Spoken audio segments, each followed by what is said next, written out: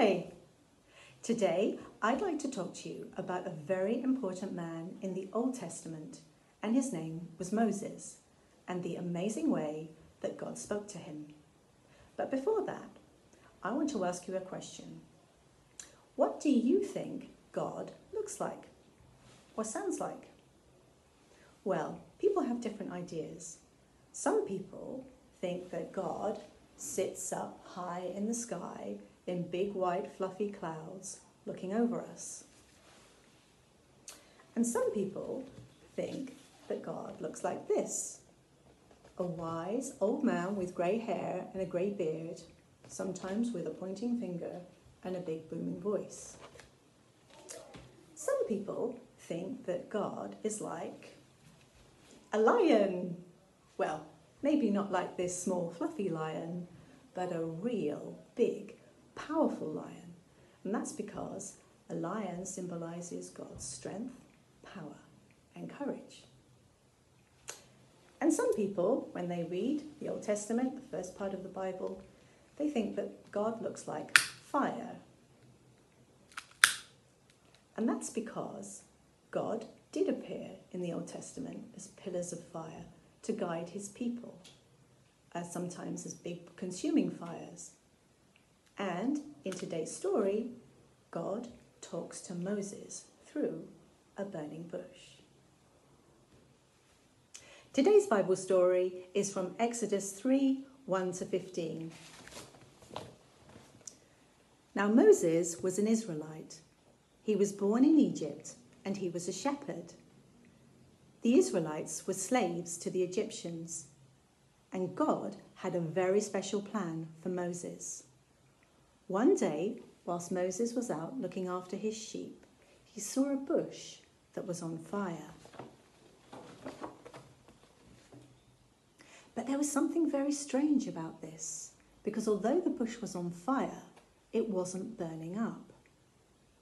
So Moses went closer to have a look.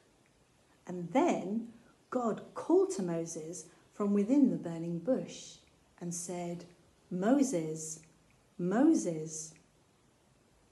God told Moses not to come any closer because he was standing on holy ground and to take off his shoes. Moses did what he was told he took off his shoes, kneeled down, and turned his face away because he was so afraid to look. God told Moses that I have chosen you for a special job.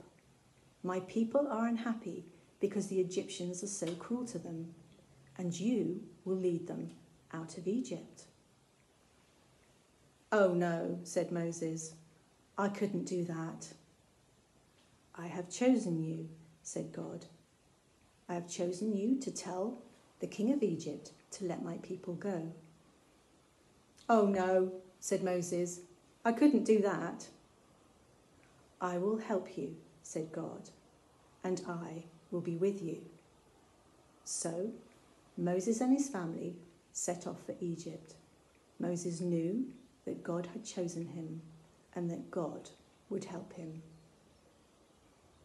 So God spoke to Moses God had a very important plan for him, and God called Moses by name.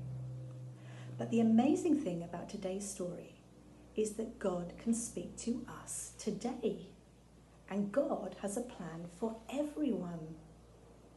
Sometimes we might find it hard to hear from God, and we might think it's because God doesn't choose to speak to us in the same amazing way he spoke to Moses. But God sent his son Jesus to show us the way. And God does speak to us today when we read our Bibles. God speaks to us through other people who are friends of Jesus. And God speaks to us when we pray. And it's important to know that if God asks us to do something for Him, He doesn't expect us to do it alone. And He promises to be with us and to give us everything we need to do it. So let's pray. Father God, thank you for loving us and promising to be with us forever. Thank you for all your promises to us. Please help us to know the plans that you have for us and help us to hear your voice. Thank you for sending Jesus to show us the way, to live among us, and to die for us, so that we can be with you forever. Amen.